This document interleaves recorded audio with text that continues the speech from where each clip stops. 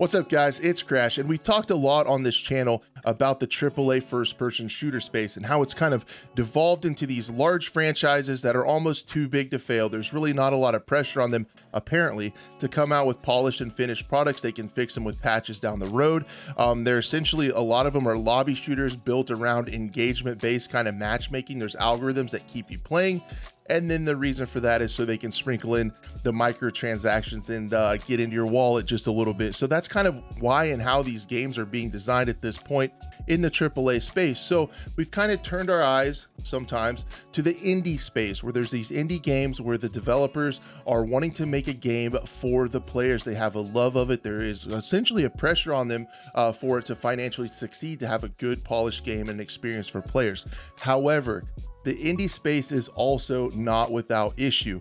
Um, Big Fry, who we're going to talk about a lot more in just a little bit, likes to call out certain asset flip type games, and this is kind of a problem in the indie space. It's it's developers that pretty much take kit builds of Unreal games, flip the assets around, just cobble something together, try to come up with really cool looking trailers, take crowdfunding, take pre-orders, and then they may and or may not release the games and kind of ride away into the sunset with a little bit of a payday. And Big Fry has done a really good job on his channel of calling these things out, bringing these to light, as well as some of some of the crypto stuff that also goes on behind the scenes with NFTs and Web3 stuff as well.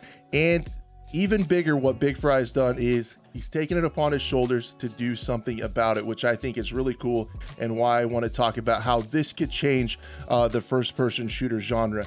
And the game itself that Big Fry is actually developing, he's funding it himself. So, like he said in the reveal today, there are no pre orders, um, there's no crowdfunding, so nobody has to put any money into the pot until it's done and they want to buy the game. He wants to be honest and upfront about how it's developed and all of the assets. There are no asset flips. So, let, yeah, let's just talk about these things that happen that he calls out right away. There are no asset flips. Um, his team has designed everything from scratch, whether it be procedurally generated animations. He has a full team of up and coming developers um, that I want to talk about in just a little bit. But there are a few games like this that are pretty exciting. One of those being like Road to Vostok, Insurgency Sandstorm's gotten a little bit bigger. World War III starting to see some content. Um, but why Big Fry's is so unique is he started out as a content creator and essentially they've only been working on this game uh, as you see it now for about six months and you can already see the trailer behind me is quite a bit of stuff put together. And one of the things about it that I think is really smart is he's not trying to bite off more than he can chew, but at the same time, kind of addressing these issues that we talked about in the indie space that could be in my opinion, a little bit predatory in coming after your wallet. So uh, this is really cool. I love the behind the scenes stuff he's shown today. Um, check out the video of the reveal if you are interested in this kind of stuff. He talks about how it got started, um, some of the inspirations. You know, he says um, this is like a Max Payne inspired, you know, kind of Rainbow Six vibe, just a little bit. Um, how it looks, you guys can see it's kind of got that Borderlands comic book uh, rendering look to it, um, cel shaded and everything. It looks really neat. Um, he says it's an indie FPS. This is from their website. Um, set to deliver a unique stealth action tactical experience. So we're talking old school Rainbow Six. Uh, you play as an accountant, a hired mercenary who keeps the books balanced by any means necessary. So he talks about the story being about a futuristic world where corporations kind of rule everything. I don't know if that's very futuristic. Kind of sounds like now, but the game itself is futuristic. I believe set in 2056 in uh, New Houston, and you follow one man's tale of redemption as he escapes transients. Um, the story is narrative driven. Um, it's across seven different environments with eight levels to compete, and I, it looked to me like in the trailer there was quite a bit of variety already um, of different places you could go, but he said this is only two of them so far, so that's pretty neat. There's fully voiced dialogue told through a comic book style approach, so that's how you move through the story. There's different cutscenes that they're working on right now, and as you guys can see from the videos, there's going to be deep and fluid weapon combination systems where you can change it on the fly with, he says, over 500 different unique combinations, which is another one of the pluses of uh, having this be a single player. You can change your guns and stuff on the fly, and it's not really going to affect balancing or stuff like that. And I just think it is incredibly smart to go after a narrative driven story like uh, first person shooter that's single player. I think multiplayer takes a lot more resources.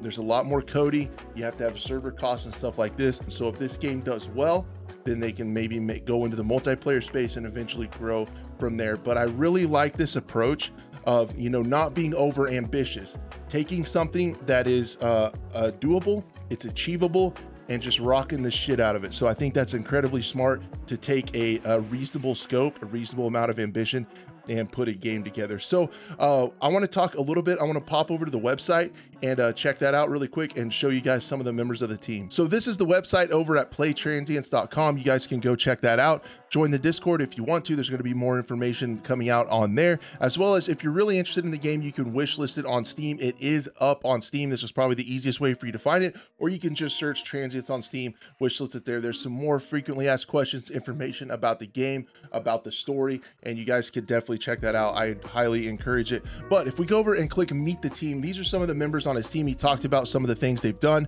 uh, from the lead programmer, Frosty, the lead level design artist, and all this stuff, guys. I'm telling you, it's come together in six months. So the release they're going for is 2023. Now, he did also mention that he's not going to push it out if it's not ready, which I definitely applaud. Basically, what Big Fry's doing is all the problems we've had with games, all the things that have caused you know, negative feelings, whether it be pre-orders or crowdfunding or games coming out broken, not doing any of that, being honest and upfront with the time it's not going to release until it's ready. They're hoping for 2023. And if they've gotten this far in six months, I'd say they're on the way to meet their goals. Uh, Frinky, the programmer, uh, weapons artist with Cody, Chris, like all these folks are doing a bang up job. I probably don't have time to talk about each and every single one of them, uh, but I definitely want to give props to all these folks. They are incredibly talented, up and coming designers that have put something together like this so fast. So they're working on a story based game without all the bullshit. It is what it is, and it's going to come out in 2023. So if you guys are interested, want to show support, go to the Discord, check out Big Fry's channel, and wishlist it on Steam. That helps them quite a bit. Um, and I just am pretty excited to see how this goes. If this happens to work out, I just want to see honest people succeed. So if they're being upfront, showing us how the game's going, the price tag is going to be in the 10 to 15 dollar range is what they're shooting for. So incredibly reasonable for a for a story game like this, a story driven narrative experience. The last several hours that's cheaper than going to the movie these days. So uh, definitely something to check out. I appreciate you guys watching, and we'll see you on the next one.